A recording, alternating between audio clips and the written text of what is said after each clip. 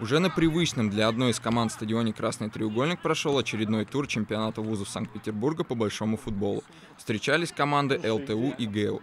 Уже в самом начале игры ребята из лесопилки остались в меньшинстве, но это не помешало им забить три безответных мяча в ворота экономистов. Последние же, как не атаковали ворота оппонента, забить смогли только один раз в первой половине, реализовав пенальти.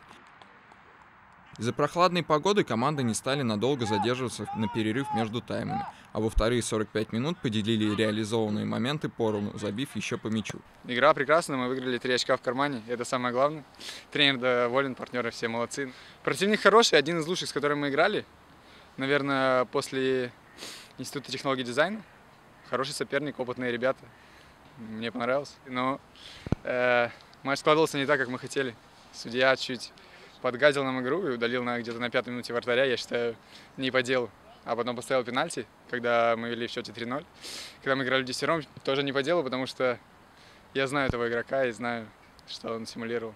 Сегодня еще не холодно, всего лишь 3 градуса тепла. Ну, это достаточно хорошая погода для футбола. Не было дождя, поле хорошего качества. Конечно, когда будет минус, будет тяжело играть.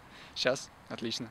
С победным счетом 4-2 ЛТУ закрепляет за собой вторую строчку в турнирной таблице. ГЭО же достается шестое место. У команд осталась одна неделя для того, чтобы подтянуть хвосты. Чем это закончится, узнаем совсем скоро. Алексей Ливанов и Александр Демченко специально для студенческой футбольной лиги.